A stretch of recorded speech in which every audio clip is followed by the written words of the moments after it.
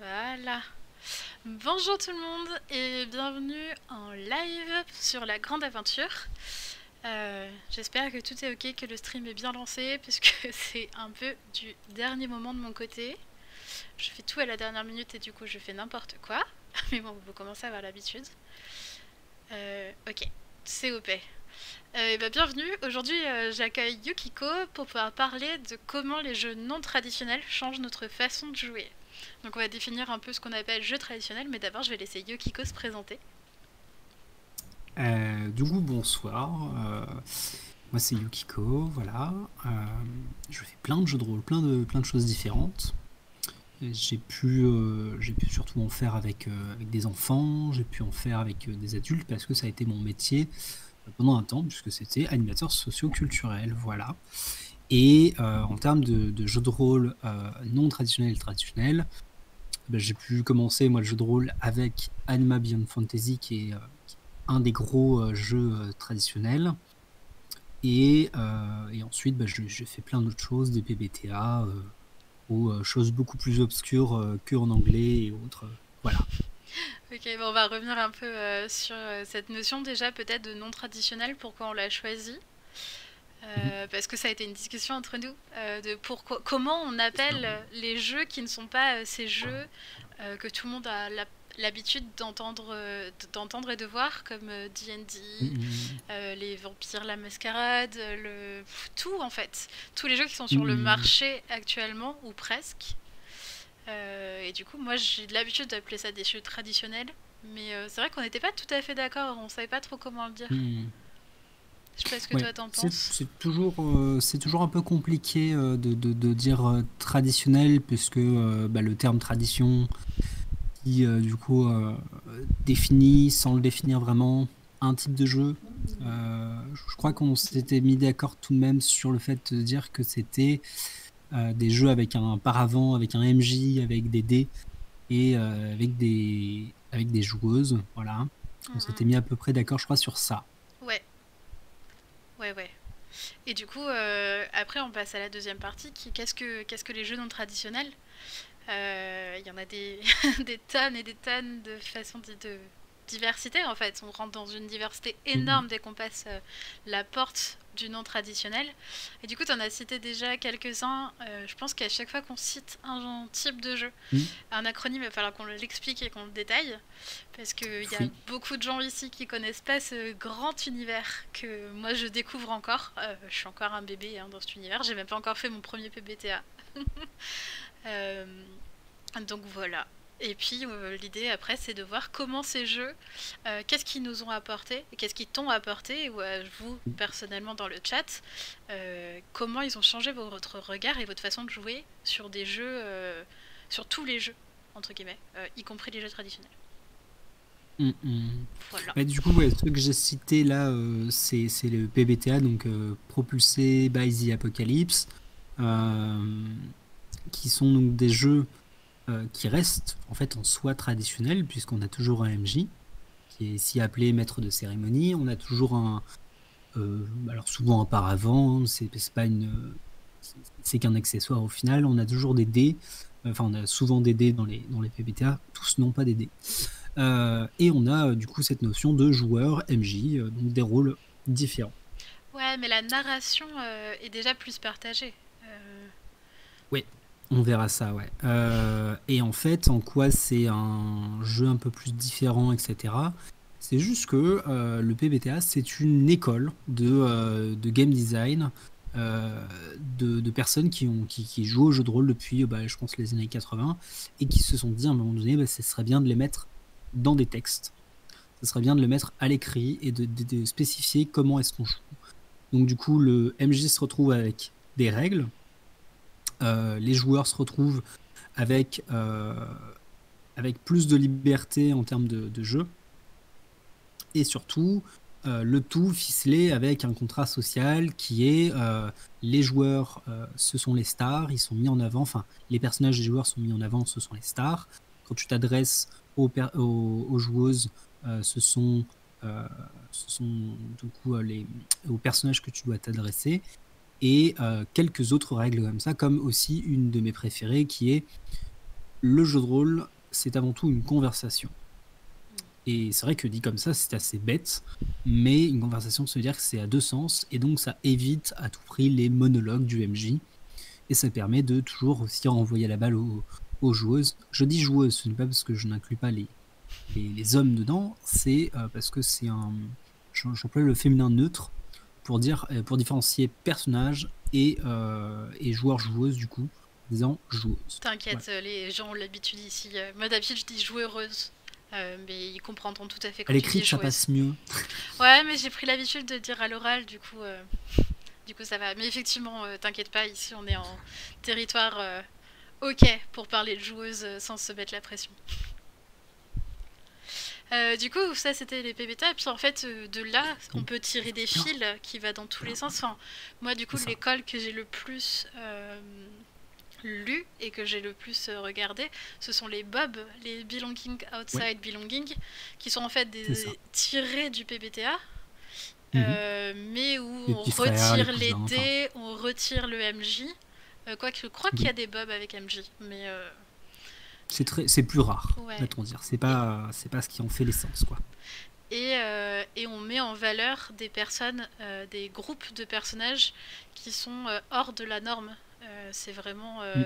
le but de, de, des Bob, mais avec un système de règles qui est complètement, enfin qui pour moi était complètement nouveau parce que j'avais encore jamais fait de JDR sans MJ.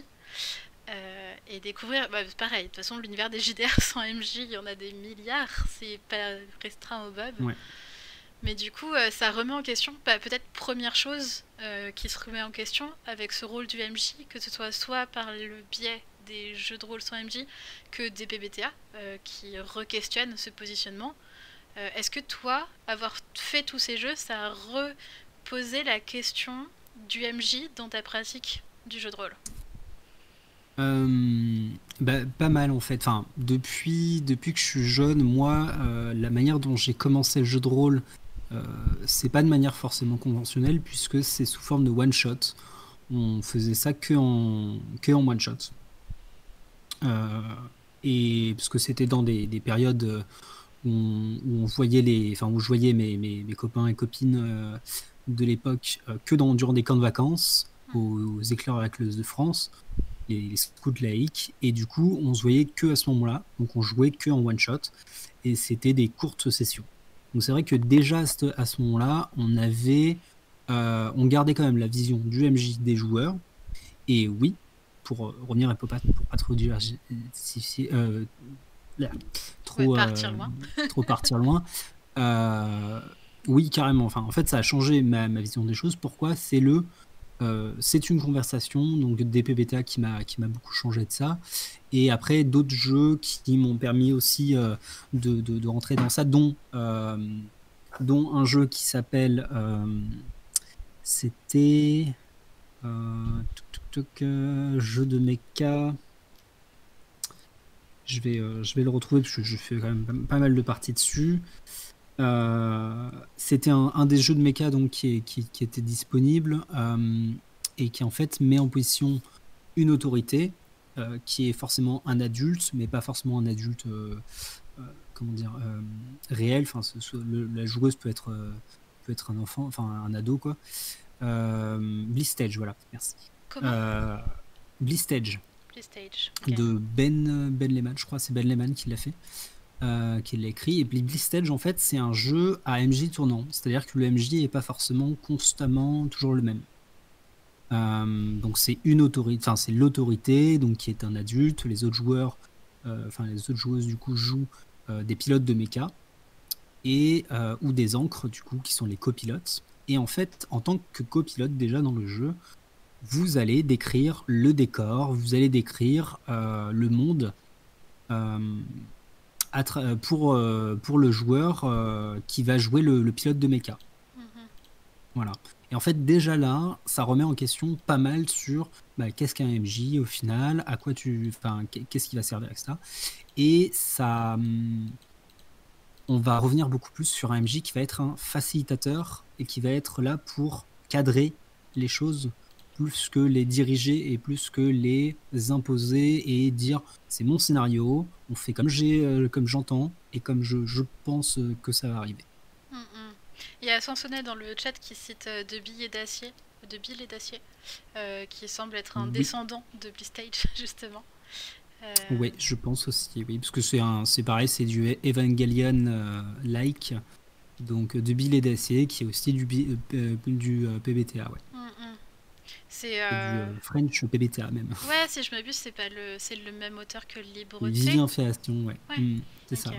C'est dans le même univers d'ailleurs, Libreté, tombé sous, enfin, perdu sous la pluie, euh, tout ça. Ouais, je me mets tout ça. Parce que du coup, je fais une liste en fur et à mesure de tout ce qu'on cite pour pouvoir le mettre en description YouTube. du, coup, euh, du coup, je note tout ça pour pouvoir aussi le proposer. donc, première chose remise en question par les jeux non traditionnels, c'est la place du MJ. C'est ça, la, la, désacralisation du MJ. Et c'est vrai que euh, euh, cette toxicité, euh, enfin, vraiment, c'était vraiment toxique, hein, la place du MJ à l'époque, parce que c'était. Alors, je ne suis pas vieux, mais pour autant, j'ai connu une époque où le MJ, nous, on avait trois règles pour le MJ. C'était première règle, le MJ a toujours raison. Deuxième règle, si le MJ se trompe, référez-vous à la première règle. Et troisième règle, le MJ a le droit de boire dans ton yop, parce que c'est le yop du MJ. Euh, ouais, ok, la troisième règle va vraiment trop loin. Alors j'avoue que moi je connais pas mal de gens qui jouent encore selon ces règles, entre guillemets, mm. mais euh, parce que c'est encore la façon la plus connue et la plus généralisée de jouer. Mais, euh, mm, mm, mais on commence à voir une vraie approche, une vraie réflexion sur ce sujet qui, dans le milieu indé, existe depuis très longtemps. Est-ce qu'on pourrait trouver la deuxième chose? Qui aurait pu être modifié sur ta façon de jouer euh, via les jeux non traditionnels Est-ce que tu as une idée ou est-ce que je réfléchis? Ouais, ouais, ouais. J'ai une deuxième, euh, deuxième chose qui, a, qui est assez importante au final, hein, c'est le secret ouvert. Et ça, euh, j'ai pu en discuter il n'y a pas si longtemps que ça sur le Discord de, de Edge, sur lequel je suis pour jouer L5R. et ben, le secret ouvert, comment, comment expliquer ça? Euh, Traditionnellement, dans le jeu de rôle, on fait des apartés. Euh, à un moment donné, c'est j'ai un truc à dire à ce joueur, cette joueuse, je vais m'isoler avec et je vais lui dire des choses que les autres ne seront pas, ou les petits papiers, à Vampire ça se fait beaucoup. C'est vrai que moi j'ai pas été grand joueur de Vampire, donc je connais pas trop. Bah, mais ça se fait beaucoup sur Vampire, les secrets, euh, les papiers, euh, les dark secrets, parce que ça c'est même un, avantage, je sais, de, dans, un désavantage dans, dans, dans Vampire. Euh, et donc du coup, bah, c'était un peu le...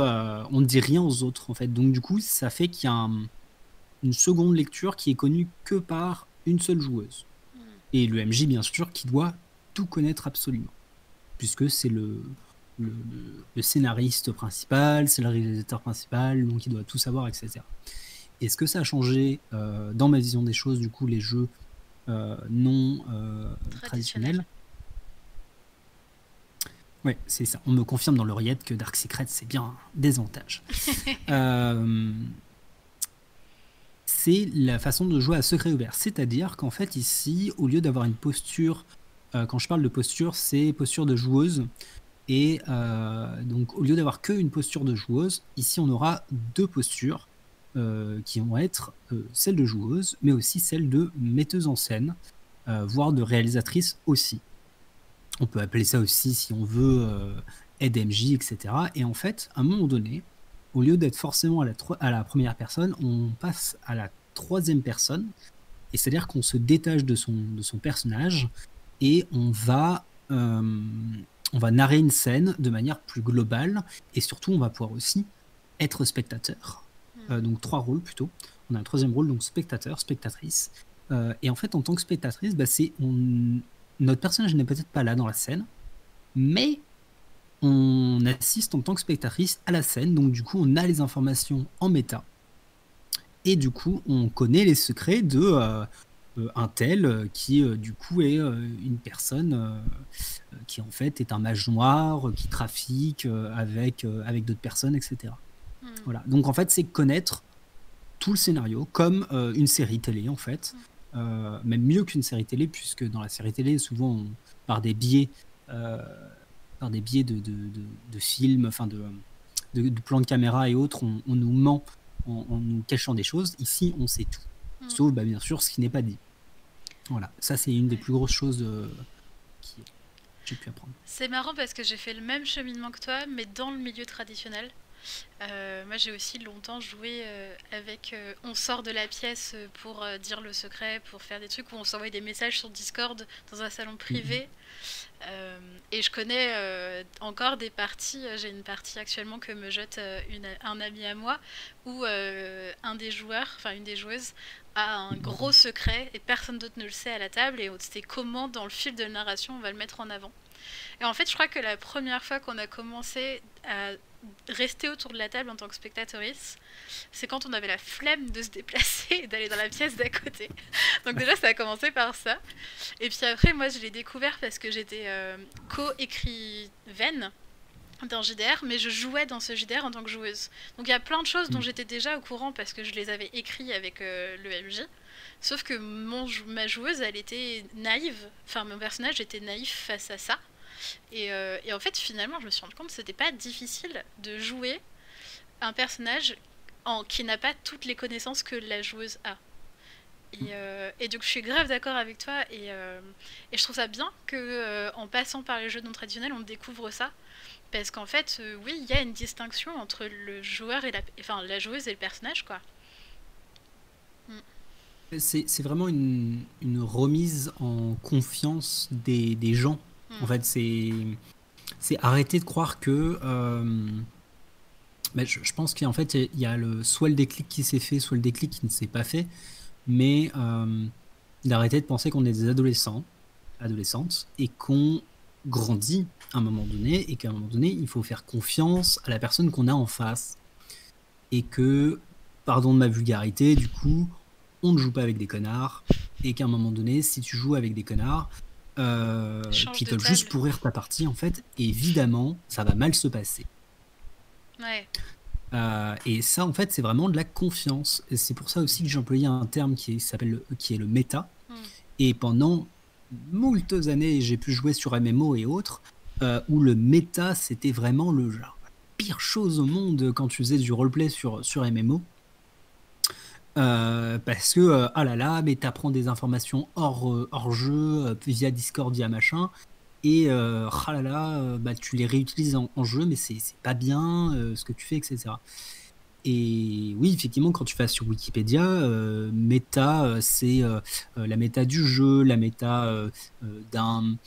Enfin, ça va être plein de choses, la méta. Ça va être que ce soit du gameplay, ça va être plein de choses. Mais en, jeu de rôle, ça a été souvent, et c'est encore associé, dans la plus grande majorité des cas, à des choses du coup mauvaises, puisque quand on dit méta, c'est bah, c'est des connaissances que tu as, que tu utilises contre le jeu, et pas du tout pour la narration. Ouais, alors que euh, partager la narration avec ses joueuses, c'est remettre une part de confiance à ses joueuses et le méta-jeu fait partie du jeu, quoi. Enfin, moi, je découvre ça avec Guillaume euh, dans Masque. Et euh, ouais, en fait, le méta-jeu fait partie du jeu. Et c'est une partie de enfin, ça fait partie du plaisir et de l'amusement du jeu, quoi. Mm, mm. De créer avec, de créer tous les PNJ et leurs secrets et leur, leur volonté. Enfin, ça fait partie au contraire, moi je trouve que ça ajoute une plus-value que de pouvoir se partager la narration et de pouvoir créer des choses, même si tu es euh, la Cinq cerveaux, c'est mieux qu'un, quoi. Clairement.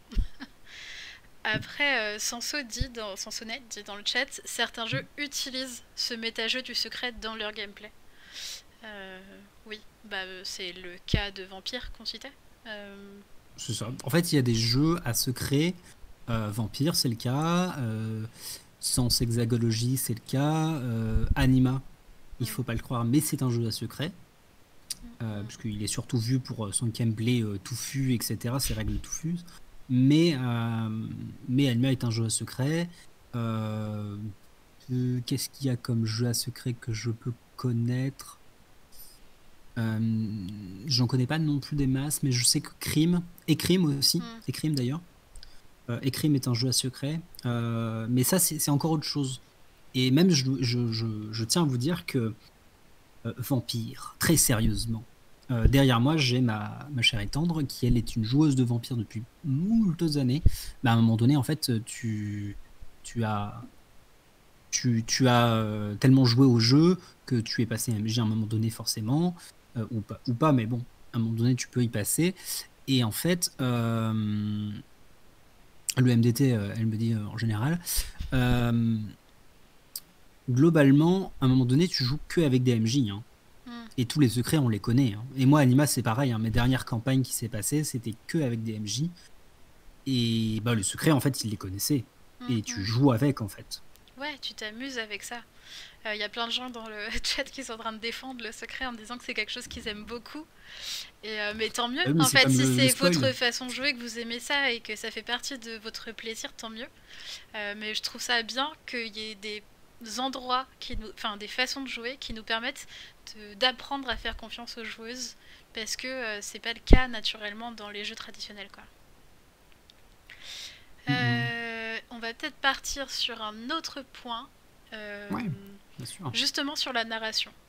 Est-ce que ta façon, imaginons là de monter MJ sur une table, est-ce que la narration tu l'envisages de la même manière qu'avant que tu fasses, que tu découvres les jeux non traditionnels? Non.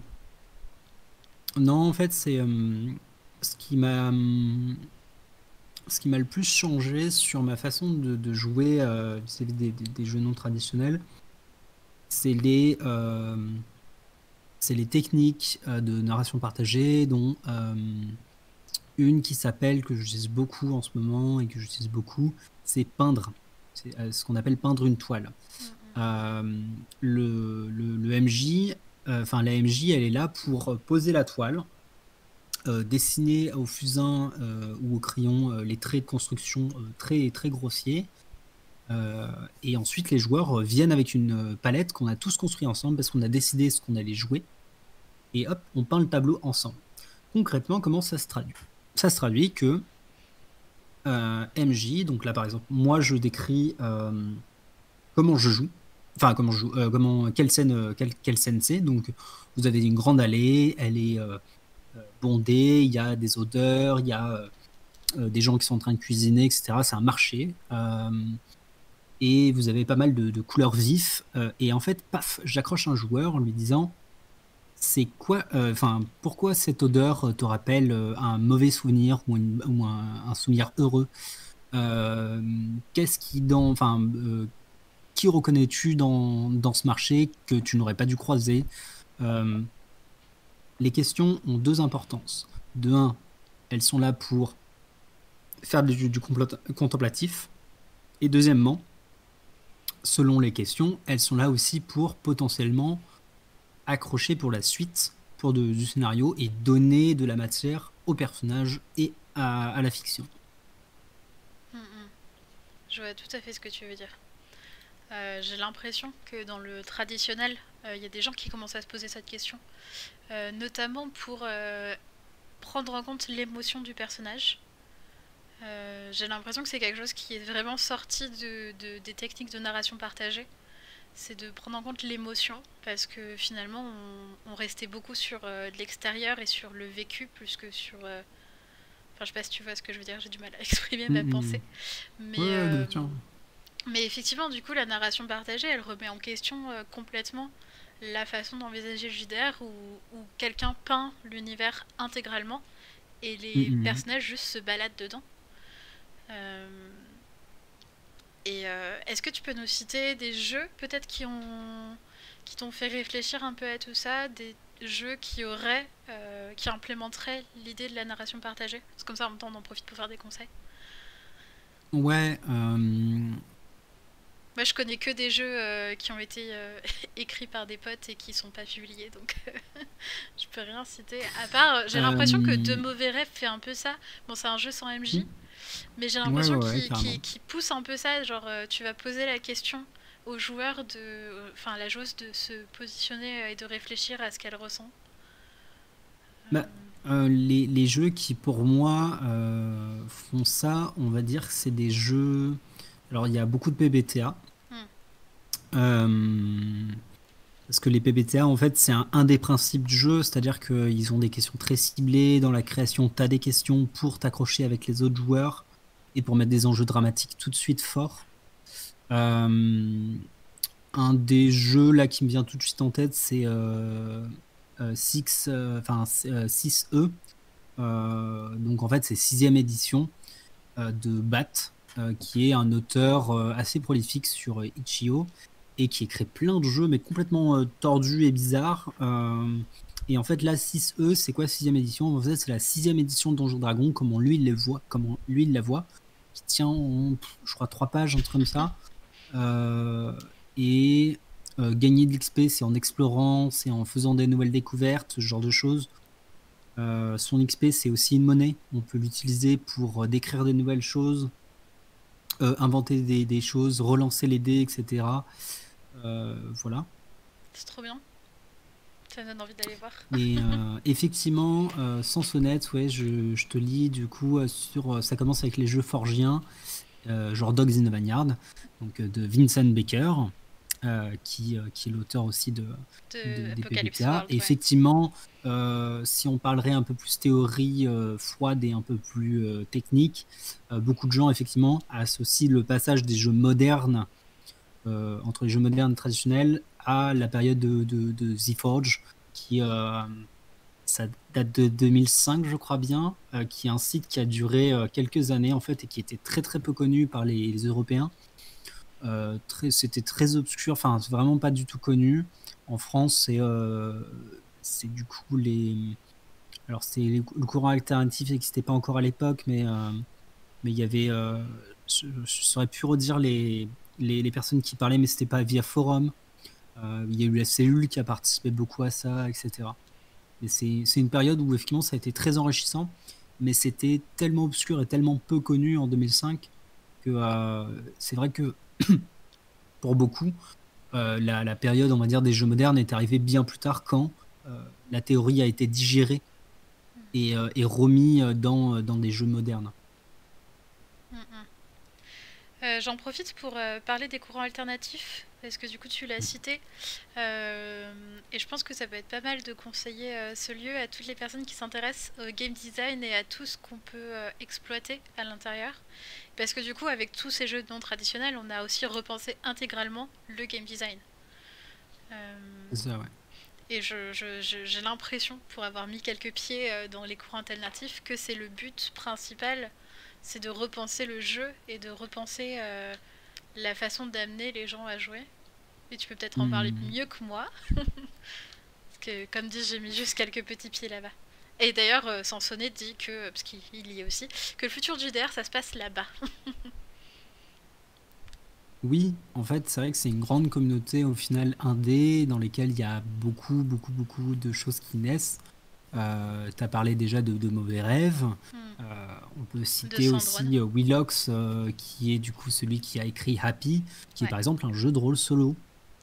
méditatif solo qui se passe pendant un quart d'heure dans votre tête où vous allez vous raconter des petites histoires sympathiques qui est en fait surtout là pour de la méditation.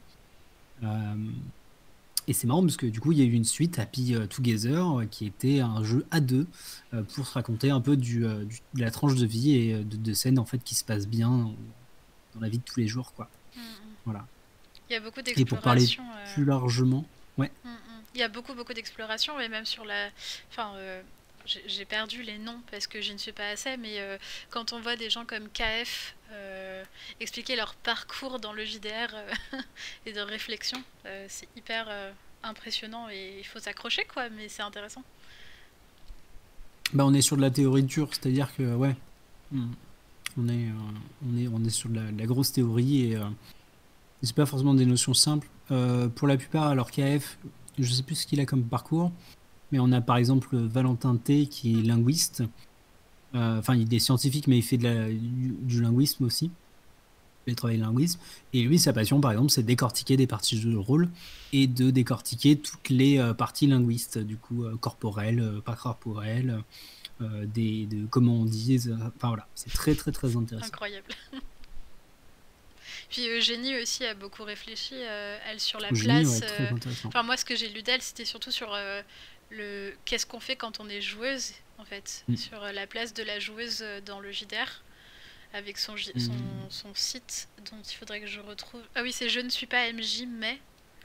Euh, oui, mais maintenant c'est faux. Hein. Elle est MJ, elle est autrice. Euh, elle a fait trop de choses. Elle ment sur la marchandise, mais euh, voilà, Eugénie, moi j'ai pu faire un atelier avec elle et j'ai pu la rencontrer. C'était une super rencontre, c'était très cool.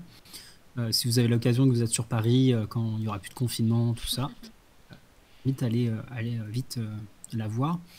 Et c'est très très très sympa en fait de, de, de, se reposer les questions sur la création de personnages, sur effectivement la place de la joueuse à une table. Euh, le, une notion qui est importante aussi que j'ai appris avec les jeux non traditionnels, c'est euh, le play to lose et le play to lift. Euh, alors play to lose et play to lift, c'est jouer pour perdre. On n'est pas là pour gagner. Aujourd'hui, par exemple, si je referais du Cthulhu, parce que j'ai pu en faire, je crois, une fois, un truc comme ça. Euh... Quoique, non, j'en ai fait deux fois en tant que joueur. Bref. Euh, en tant qu'AMJ, si je referais du, du Cthulhu, euh, ce que j'avais déjà fait à l'époque quand même, parce que j'avais eu pas mal de, notions euh, à ce moment-là de, design de venue des jeux non traditionnels, c'est d'annoncer d'emblée que le scénario ne va pas bien se finir. Que on va perdre, que les joueurs vont, enfin que les joueuses vont mourir, que les, enfin que les personnages vont mourir, et ça va finir sûrement tragiquement. Euh, et donc ça, c'est vraiment jouer en play to lose. Euh, et aussi, euh, c'est, entre autres, c'est une partie du play to lose. Le play to lift, donc porter, c'est une notion en fait de mettre en valeur les autres joueurs. donc du coup, de par ses actions, on va pas forcément se mettre en avant, on va mettre en avant une autre joueuse et faire en sorte de l'aider pour euh, bah, que socialement, euh, dans son discours, dans, dans ce qu'elle fait, euh, ça soit elle qui soit au centre de l'attention. C'est trop bien. Du coup, je connaissais pas la deuxième, le Play to Lift. Je le connaissais mm. pas du tout et je trouve ça vraiment incroyable, même en outil de empathique et de mise en valeur des autres. enfin, je, vois bah plein de potentiel. T'as as des conseils à donner des noms ou pas dans ces univers, dans ces façons de jouer? Ou est-ce que c'est plutôt des techniques de jeu qui ont été appliquées à des jeux? Ouais, c'est des techniques. En fait, il y, a, quand même beaucoup de choses qui, des, ça reste de la technique de jeu que vous allez retrouver sur, euh, sur des sites internet, euh, que vous allez retrouver sur. Euh, alors, je crois que PTG, PD, PTB, PG l'a traduit, donc vous avez plein d'articles à aller voir chez eux.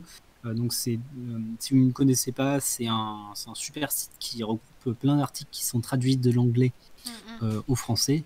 Je, ne sais plus s'il y a d'autres langues, mais je, crois qu'il y a quelques autres langues. Mm, et, et, et, donc du coup, bah, c'est c'est ouais, c'est plein de techniques en fait qui sont expliquées, voilà, et qui, qui, vont être traduites. ça me fait rebondir de toute façon sur plein de choses, hein, mais euh, sur celle auquel ça me fait penser, c'est que euh, l'appel de Cthulhu n'est pas fait pour faire du Cthulhu.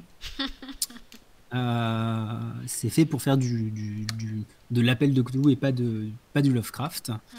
Si vous voulez d'autres jeux pour faire du Lovecraft, il y en a plein d'autres qui existent. Cthulhu Dark, je sais plus d'autres, mais il y, a plein de noms. Et puis on a même des petits jeux français qui, qui font très bien ça. Il y a un milliard de. Si un jour ça euh. vous intéresse sur, euh, je, parle à tout le monde, hein, mais euh, sur mm. un des quatre, il y a quelqu'un qui nous a fait une explication de, une description de plein de jeux pour faire du Cthulhu. Mm. C'est dans un channel de, du serveur 1 des 4. Voilà, si un jour vous voulez aller fouiller ce grand univers, c'est là. Voilà, désolé, je t'ai interrompu. non, non, mais du tout, du tout, tu fais bien de rappeler ça parce qu'après j'en ai un euh, dans mes Discord, dans mes nombreux Discord, j'en ai un. Euh, horrifique, voilà, horrifique qui est un PBTA hmm. et qui est en train d'être euh, qui est en train d'être monté en ce moment. Il va être incroyable. Et qui est vraiment fait pour du Cthulhu pour le coup. Et là, je vous invite vraiment. Moi, je j'ai pas désapprécié l'appel de Cthulhu, mais je pense que voilà, très sincèrement, ce n'est pas fait pour du Cthulhu. Et j'ai toujours des soucis après avec avec les, les jeux, euh, enfin le, les jeux faits par Chaos, enfin fait par le, avec système, de jeu de Chaosium, mm. le descend, qui, bah, par exemple, voilà, pour revenir à notre, sujet non traditionnel traditionnel, Chaosium, c'est le enfin c'est le papa, c'est le grand-père un petit peu du jeu de rôle de du jet de dés et c'est à pourcentage, etc. La chose que par exemple le jeu non traditionnel m'a apporté, c'est la non-binarité des dés. C'est pas le tu réussis, tu rates. Ouais, super important ça. Et enfin, du coup, surtout dans les PBTA, mais je suppose que ça se découvre partout ailleurs. C'est ça. Bah, y a, y a... En fait, c'est vrai que c'est quand, quand, tu regardes un petit peu sur le jeu non traditionnel, euh... enfin, même, en fait, on, parle de non traditionnel, mais maintenant on va parler de, de jeux qui sont, euh, qui sont, qui sont pas, voilà, qui sont avant la forge, on, peut dire, on peut dire ça. Euh, on peut pas parler de date parce que on a encore des jeux aujourd'hui qui restent dans cette tradition. Euh, c'est pour ça aussi qu'on s'était un petit peu mis d'accord avec euh, avec Atla. Et donc c'est important de savoir que maintenant on peut ne pas échouer totalement ou ne pas réussir totalement et qu'il y ait des nuances. Et c'est vrai qu'avant, à l'écrit, c'était pas écrit du tout dans les livres, ou en tout cas c'était euh, très sommaire, c'était du conseil du MJ, etc. Bah, le premier JDR que j'ai lu pour le faire jouer, c'était le JDR Dragon Age. Euh, qui, est, euh, qui est très basique euh, et qui mettait. C'était la première fois que j'entendais parler d'une nuance dans les réussites parce que du coup, quand on lançait 3d6, il y a un dé qui était d'une couleur différente et le, le, le, chiffre de ça. De, de, ce dé spécial influençait sur mm. à quel point tu réussissais ou à quel point finalement c'était nuancé. Et c'est la première fois que je découvrais ça. Et puis après, j'ai lu des PBTA. Et puis euh, bah, les PBTA, pour ceux qui du coup ne découvrent complètement, euh, quand on lance des dés, si on fait plus de 10, c'est une réussite euh, complète, mais surtout c'est une réussite telle que la joueuse l'a imaginée. C'est elle qui va décrire les résultats de son action. entre 7 et 9, ça va être une réussite partielle. C'est une réussite, mais elle va avoir un prix à payer. Le MJ va rajouter une condition, va rajouter quelque chose. Euh, et en dessous de 6, c'est un échec entre guillemets, mais dans les faits, c'est que le MJ prend la narration à ce moment-là pour faire aussi un mouvement à, sa, à son tour et utiliser son action pour créer autre chose. Souvent qui va mettre la joueuse dans la patate, mais, euh, mais parce que c'est le but aussi d'un PBTA, c'est de faire du drama. Mais, mais voilà, enfin, et moi j'ai découvert ça et j'ai trouvé ça incroyable. Donc je suppose que c'est le cas dans d'autres jeux de rôle. Euh, qu'il y a plein d'autres façons de, mettre ça en place. Mais, euh, mais vraiment, les PBTA sont en train de révolutionner ce qui se passe dans ma tête vis-à-vis du jeu de rôle. Parce que oui, en fait, euh, à quel moment, quand tu lances un D20, si tu fais plus que 14, tu réussis que tu fasses un 14 ou un 20, et, enfin, ou un 19, parce qu'il y a quand même les réussites critiques. Et si tu fais de 13 à 2, et ben, ça se passe la même chose. En fait, c'est soit pile, soit face. Genre, autant jouer tes jets. Ça revient, à jouer, ça revient à jouer avec une pièce. Hein. Ouais, clairement. bon, à quelques probas après, mais. Euh, oui, c'est ça, à quelques probas après, euh, ça revient à jouer avec une pièce à la fin. quoi. Euh, mais oui, du coup, effectivement, il y a des jeux qui sont, sont, qui sont appropriés le, principe. Quest, par exemple, hmm. qui est en gros jouons à Donjons et Dragons, le jeu le plus populaire du monde, mais avec des, une approche très care, euh, donc très, euh, très bienveillante, et des illustrations qui le sont tout autant, une mise en page qui est agréable à lire, etc. On fait attention, on ne recherche pas trop. et du coup, bah là, en fait, les règles se résument à lance des 20. sur temps à temps, tu réussis, temps à temps, tu réussis très bien. Euh, et en fait, je crois que c'est juste sur un que tu, euh, que tu échoues. Et en fait, euh, eh ben, il y, y, a plein de choses qui, du coup, sont retirées. C'est-à-dire que tu lances le dé, il se passe quelque chose. Et hmm. ça, je, crois que c'est. Alors, dans les PBTA en premier, moi, ça a été ma découverte, mais Quest, ça le fait aussi. Et après, il y a plein d'autres jeux que c'est le cas aussi. Et ça, par rapport aux jeux non traditionnels, bah, c'est une chose qui m'a qui, a, beaucoup évolué aujourd'hui dans, beaucoup de jeux, hein, euh, qui, sont ultra différents. Et si euh, c'est Cérine, du coup, je te réponds tout de suite, et il n'y a plus d'échecs. En fait, si, il y a des échecs. Euh, seulement, les échecs sont soit nuancés, soit quand ils arrivent, ils arrivent avec un intérêt. Hmm. Euh, c'est-à-dire que le meilleur exemple que je peux donner ici, vous êtes un voleur avec un kit de crochetage, vous devez crocheter une porte. Euh, derrière cette porte, on ne sait pas ce qu'il y a. par contre, vous, dans votre quête, vous devez avancer absolument. Donc là, je ne prends pas forcément un système en particulier. Je dis que là, je, parle. C'est pour ça que les PBTA, je parle d'école de, game design, puisque c'est plus une manière de jouer que réellement un design qui va se reproduire sur tous les PBTA. Parce que les PBTA, il faut savoir que c'est pas un système générique. Oui, y a ça a été à la différence du D20. Mm, mm. Euh, je crochette ma porte, je lance mon dé.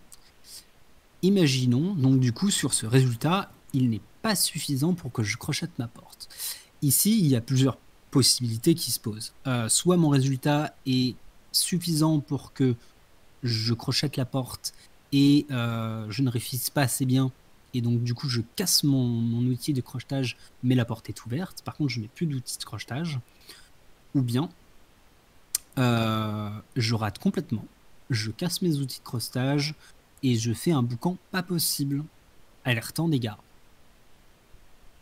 Et ça, ça serait la pire des situations. Mm. Ou bien euh, une des situations possibles aussi dans les nuances, qui est de je crochette la porte, je fais pourtant, enfin je prends trop de temps, et en fait en prenant trop de temps, et ben juste euh, derrière cette porte, je ne le savais pas, c'était la salle des gardes, et euh, c'est arrivé au moment où il y avait à nouveau des gardes dans la salle.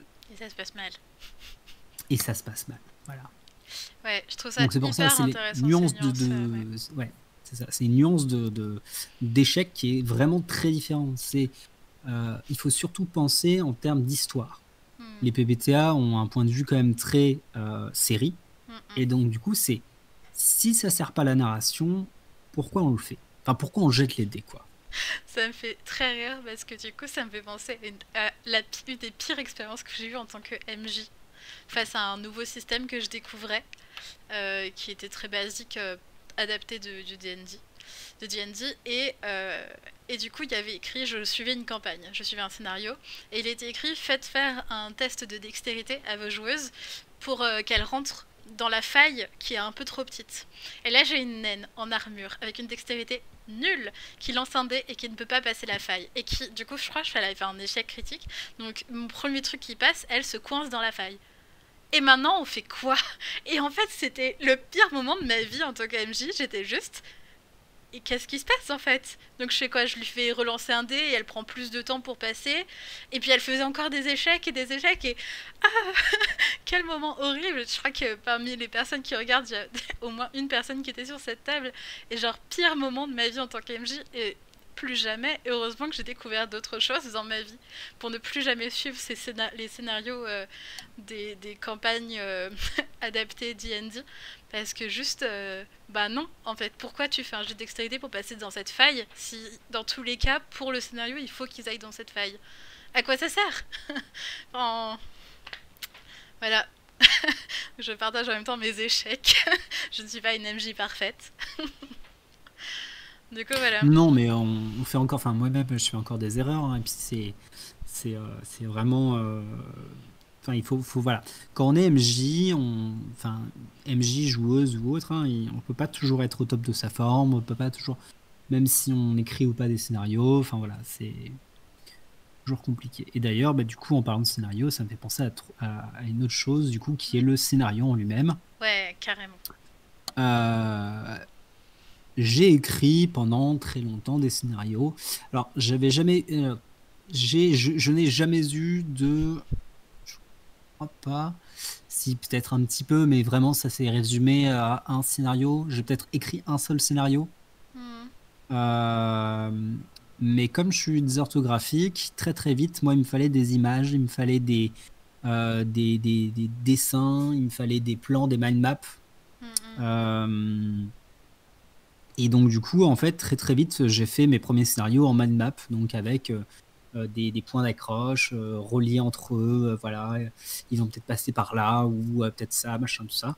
Et donc, du coup, effectivement, je ne suis jamais passé par la case de d'écrire des pages et des pages de scénarios. Moi, je suis et, ou de prendre des scénarios du commerce d'ailleurs. parce que c'est vrai que moi, je n'ai pas joué à Dungeons Dragons. Enfin, en tout cas, j'ai joué quand j'étais. j'ai dû faire une partie ou deux quand j'étais plus jeune, mais c'était pas non plus le jeu de rôle auquel je jouais le plus. Et donc, du coup, euh, et bah, du coup, ouais, j'ai jamais eu à acheter de, de scénario du commerce. Donc, tout ça pour vous dire bah, que, en plus de ça, moi, ce que ça m'a apporté le non traditionnel, les jeux PBTA, les jeux euh, bah, Stage et autres, sans MJ ou AMJ tournant et, autres, c'est ce côté pas de préparation ou très très peu. Et, euh, et donc, du coup, euh, très très peu de préparation ou pas de. Pas, pas peu ou peu de préparation. Quoi. Hmm. Et je trouve que ça, dé... ça enlève une grosse part euh, du problème que, que, pose le JDR qu'on a cité en tout début de, de, la grande aventure, qui est la charge mentale de créer ce scénario, de le faire jouer, de faire en sorte qu'il fonctionne. En fait, euh, bah non. Là, on arrive autour d'une table. Il y a des, quelque chose qui, quelques petites choses qui sont préparées ou pas, et on écrit ensemble l'histoire. Et, euh, et ça change complètement euh, la façon de penser le jeu et euh, mhm. la façon de s'investir aussi. On en revient à la narration, mais c'est vrai que cette absence de scénario préécrit, on joue. Ce que j'aime beaucoup dans, dans, les PBTA, c'est qu'on joue pour savoir ce qui va se passer. Exactement. On ne joue pas pour suivre une histoire qui est déjà écrite, un mhm. fil rouge qui va déjà du point A au point B, même si on fait des chemins dessus. Non, là, on joue pour découvrir ce qui va se passer. Oui, puis ça permet même au MJ du coup de découvrir en fait ce qui va se passer. Ouais. Hmm, bah, le MJ aussi doit être surpris euh, hmm. par euh, ce qui va se passer quoi, parce que ça se trouve un joueur va enfin les joueurs, les joueuses vont inventer des choses, vont amener tellement de choses à ce scénario, à ce qui va se passer, que même le MJ euh, est surpris ce qui se passe. Et du coup, clairement le MJ tournant et le, les jeux soit MJ ça favorise encore plus ça. Après, je trouve ça déstabilisant de jouer un jeu sans MJ pour la première fois. Euh, parce que justement, on ne sait pas à quel point on est maître des choses. Enfin, c'est difficile de se laisser euh, créer bah, dans ensemble. Les... Dans les bobs, euh, dans les bobs ou par exemple dans Fire. Moi, le jeu sans MJ auquel j'ai pu jouer, c'était donc Firebrands Armadage. Non, non. Firebrands, je crois qu'il s'appelle juste euh, Firebrands 0, euh, euh, qui est un jeu de, de Gundam. Pour faire simple, on y joue, on y joue des pilotes. et surtout, on y joue des pilotes. donc, on va avoir l'aspect politique, on va avoir l'aspect romance, parce que dans les, dans les mechas, on aime beaucoup la romance. et on a l'aspect donc combat. Et en fait, tout est très très très structuré puisque là, on est un peu sur du party games. Euh, comme si on jouait un Mario Party euh, drama, où en fait euh, chaque scène, donc là on joue plus des scènes continues, on joue des scènes précises, comme si on avançait ou on reculait dans le temps, avec des scènes précises où on définit qui joue. donc tous les mini-jeux sont assez bien décrits pour dire vous allez jouer avec deux, deux, joueurs, vous allez jouer avec. Enfin, c'est le jeu est prévu pour 1 à 5 joueurs. Euh, vous allez jouer dans ce mini-jeu ça. Oh, nous nous faisons attaquer par. Euh, ouais, mais j'ai des modérateurs, t'inquiète. Euh, voilà. et en fait, c'est ultra bien défini et ça rassure tout de suite parce qu'en fait, c'est très défini. et la puissance de ce jeu, donc Fire. Firebrands. ouais. Euh, la, puissance de ce, de ce jeu, c'est que c'est sa grammaire. Donc pour quelqu'un qui, comme moi, est euh, à deux mains droites, parce que je suis gaucher, à deux mains droites avec, euh, avec l'orthographe, et surtout la grammaire, enfin plus la, la grammaire aujourd'hui, c'est ultra intéressant de décortiquer les phrases. Je vais vous en pas lire une parce que là je l'ai pas sous les yeux forcément, mais ça remet en question, par exemple, la manière de combattre. Euh, dans, ce, dans, ce, dans ce jeu, il y a un mini-jeu qui, s'appelle les duels. Donc on s'imagine très bien dans les, dans les, dans les animés de mecha euh, qu'à un moment donné, en mecha ou sans les mechas, on fait des duels. Donc que ce soit, je sais pas, une caste noble qui existe encore maintenant parce que là, la société, la planète Terre, parce que maintenant c'est fondé sous un seul drapeau, c'est toute une, bref, toute une nation. Et donc on, retourne un peu à, cet aspect féodal. Donc ils vont faire un duel. En fait, durant ce duel, les phrases euh, le duel va se passer comme ça en fait. Il y en a un qui va, qui va dire les phrases, donc on doit en jouer, euh, je crois, trois phrases, et puis ensuite on a la phrase finale qui, euh, qui définit un petit peu le, la fin du combat. la phrase se passe de la manière suivante. Je, fais ma provision d'attaque, donc par exemple je me fends en avant avec mon épée et je viens essayer de transpercer ton, ton, ton épaule, ton flanc, etc. Et la seconde partie de la phrase, c'est en faisant ça, j'expose mon flanc est-ce que tu esquives mon attaque? Ou est-ce que, euh, enfin, est-ce que tu esquives mon attaque? Est-ce que tu esquives mon attaque et tu m'attaques en même temps? Euh, Et en fait, dans la phrase, bah, ça vous propose trois choix. Soit euh, vous esquivez totalement l'attaque, soit vous esquivez et vous contre-attaquez, soit vous prenez l'attaque, ou bien même un quatrième choix qui est je prends l'attaque et je contre-attaque en même temps. Ouais. Et ça, c'est très très très malin. On se rend pas compte. Enfin, moi, je, euh, vous pourrez le, télécharger même gratuitement parce qu'il est en français maintenant. Il a été traduit euh, généreusement euh, par Mathieu B et d'autres d'autres personnes. Mais en fait, c'est, on se rend pas forcément compte là à l'oral comme ça. Mais du coup, pour quelqu'un qui a fait beaucoup de MMO comme moi et qui a pu en faire du RP dessus, etc., ça change complètement la manière de penser des, des combats. Parce que dedans, en fait, on a du play to lose, on a du play to lift, et du coup, euh, bah, c'est deux notions en combat ultra intéressantes. En fait, on est là pour faire du catch, on est là pour euh, raconter une scène qui est euh, vive en émotion, qui est intense et importante, et pas juste je prends mes dés et je lance mes dés et je veux massacrer l'autre. Et en fait, parce que comme là, c'est forcément des joueuses contre lesquelles vous allez vous battre, euh, bah, tout de suite, on a cette notion de compétition qui peut, qui peut rentrer en compte, etc. Et là, c'est pas du tout le cas. Mm, mm. Là, il n'y a pas de notion de compétition. Ou en tout cas, il y a une notion de compétition, mais elle est saine. Et ça, c'est important. Clairement. Enfin, on, gère très peu euh, la compétition entre les joueuses dans les jeux. Et euh, justement, c'est quelque chose que j'ai trouvé dans les jeux non traditionnels.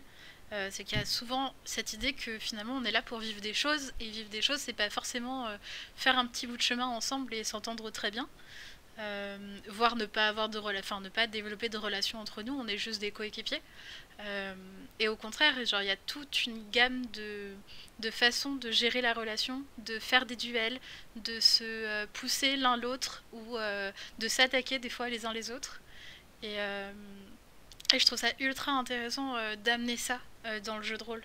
Parce que bah, les, mhm. les personnages, ils vivent ensemble, ils font des choses ensemble, donc forcément, il y a des relations entre eux, ils vivent des choses, et donc apporter des règles et des façons de gérer ça, c'est cool.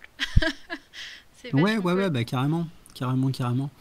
Et, euh, et, pour revenir un petit peu peut-être sur des jeux plus, plus mainstream, en fait, ce que, ce que, les, ce que les jeux coup on peut dire PostForge ont, ont apporté, c'est surtout ça, c'est qu'ils ont apporté beaucoup de bien aussi aux, jeux plus mainstream, que ce soit euh, des, euh, euh, donc la cinquième version, que ce soit Vampire cinquième version aussi, là L5R pareil sur sa V5.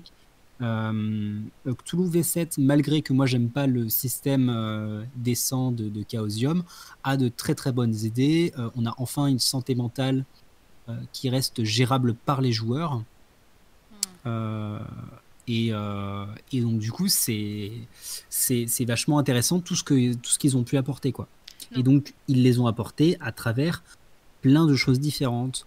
Euh, DD l'a apporté, DD5 moi je l'ai beaucoup aimé parce que du coup il apporte la notion par exemple de d'inspiration. Donc l'inspiration, c'est un token qu'on file aux joueuses et qui normalement elles peuvent se filer entre elles euh, et qui en fait dit bah moi je trouve que ton RP ou ta scène elle était vachement cool et donc du coup tiens un bonbon, euh, un cadeau, euh, une friandise, enfin voilà cœur sur toi. C'est marrant parce que j'ai vu ça que dans des jeux comme Cosito.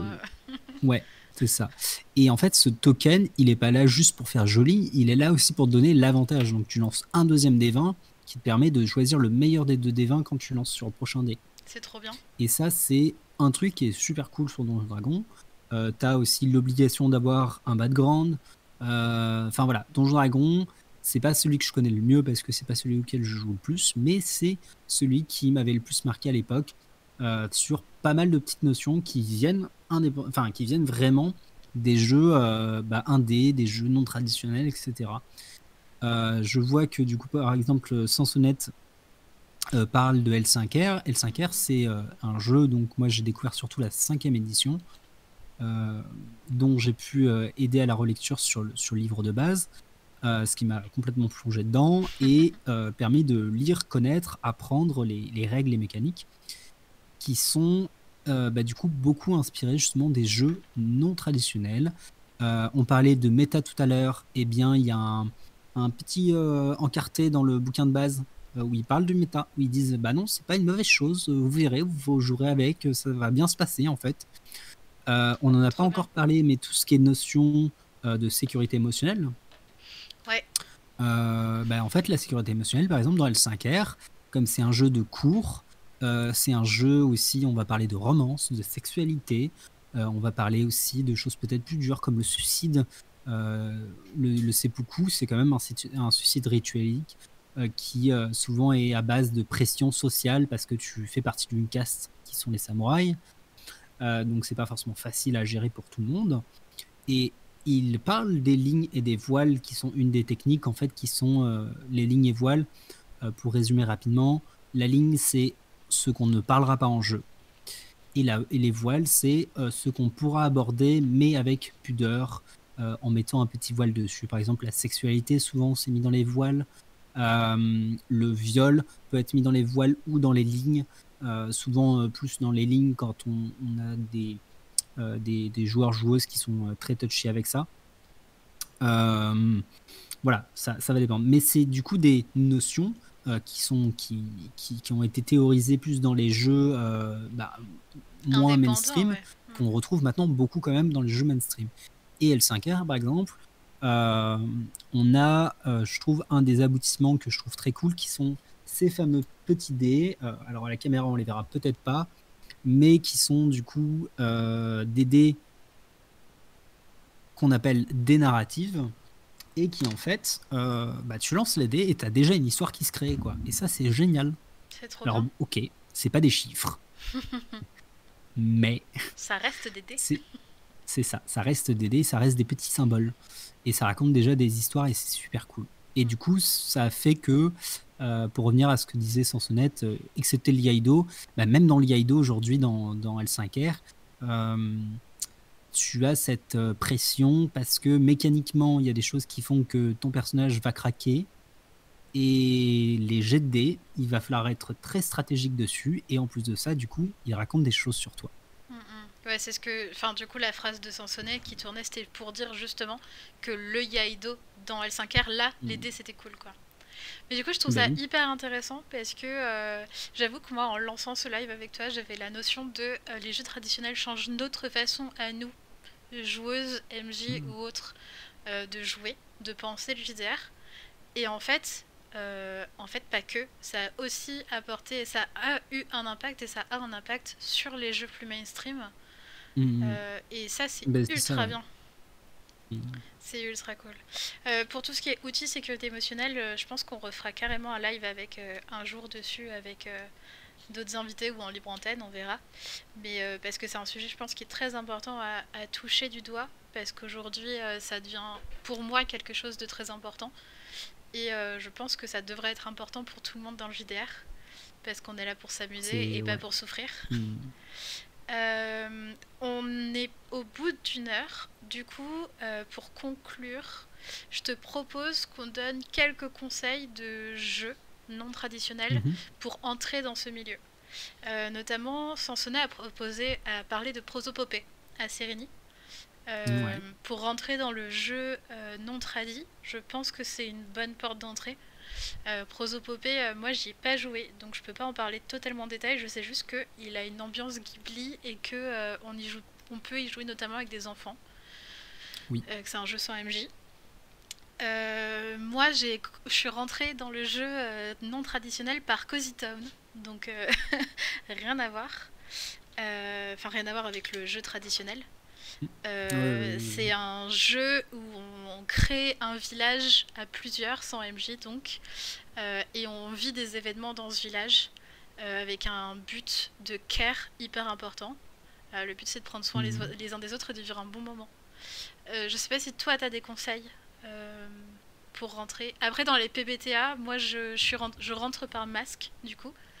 Ouais, là, ce qui est très très cool, c'est un des, un des meilleurs PBTA, je pense, qui, qui a pu être fait aujourd'hui. Ouais, puis il est très. Euh, enfin, en fait, finalement, c'est facile d'imaginer mm. le jeu tel qu'il est censé être parce qu'on connaît bien les comics et les, les films euh, de super-héros.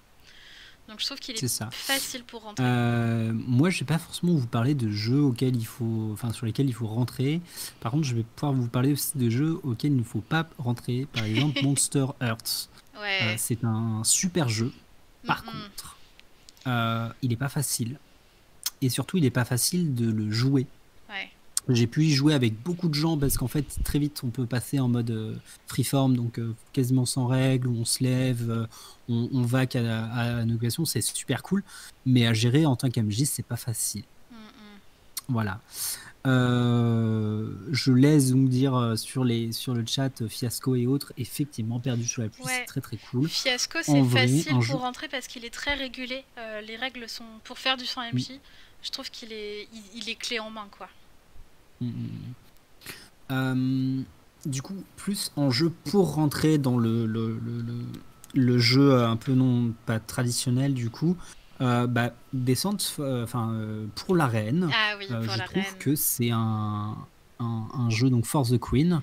On en parle à quasiment chaque live. C'est un très très cool jeu apéritif qui, qui peut se faire vraiment de manière super sympa. Mm, mm.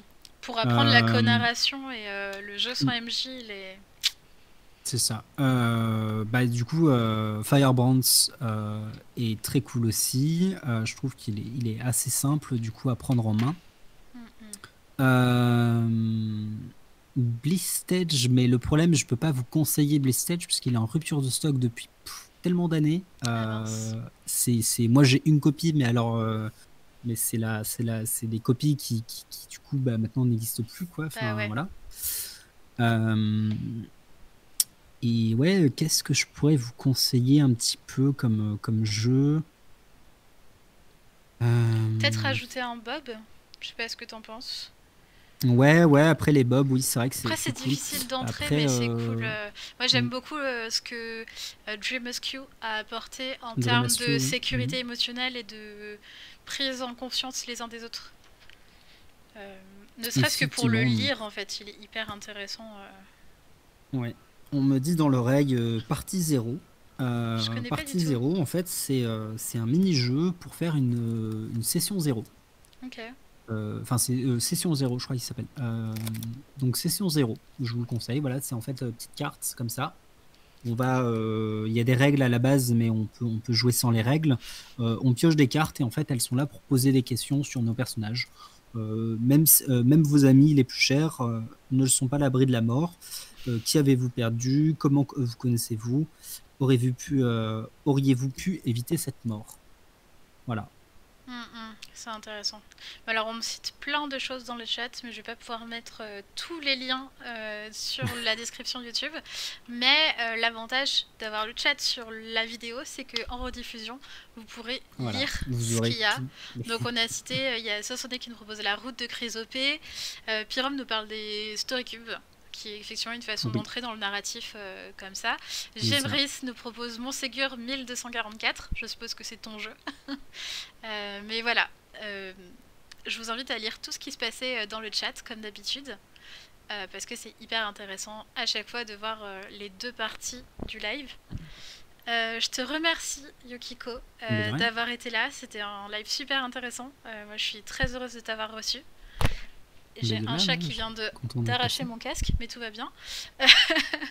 et du coup, je souhaite une bonne soirée à tout le monde, y compris à toi, bien sûr. Merci.